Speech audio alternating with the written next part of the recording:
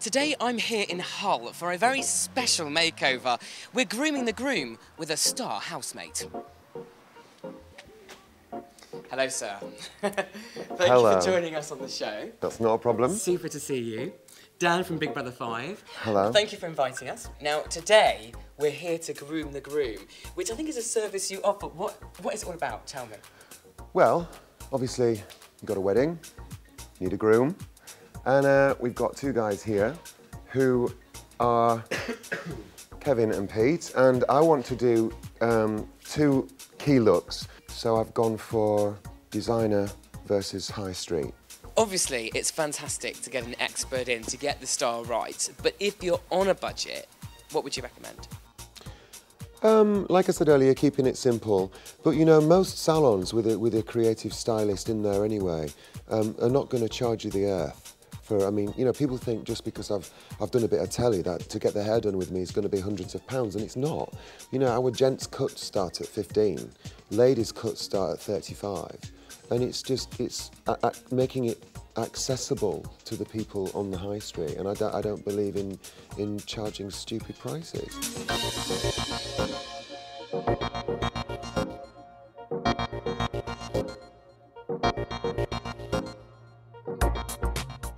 So, obviously, Big Brother, a massive, massive part of your life.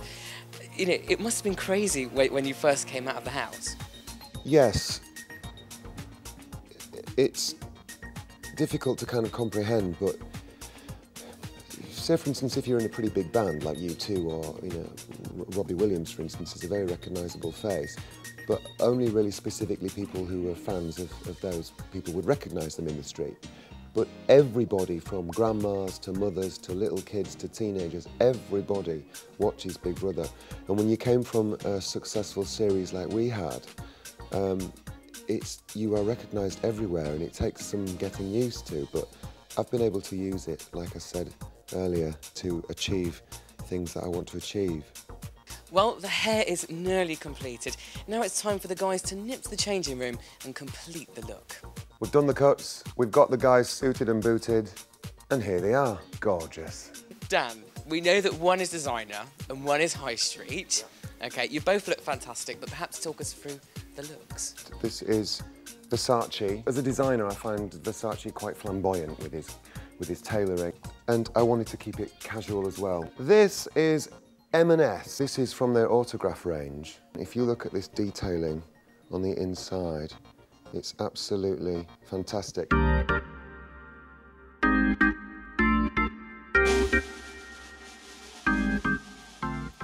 Dan, thank you so much for today. If nothing else, I've learned masses from you. um, I'd love to know what is your ultimate top tip for getting it right? Um, that's got to be keep it simple, because with simple and elegant lines, then you, you can't go wrong. Same with haircuts, same with tailoring. Keep it simple. Thank you so much for joining us on the show. Good luck with the rest of your styling, and I hope we see you again soon. Thank you.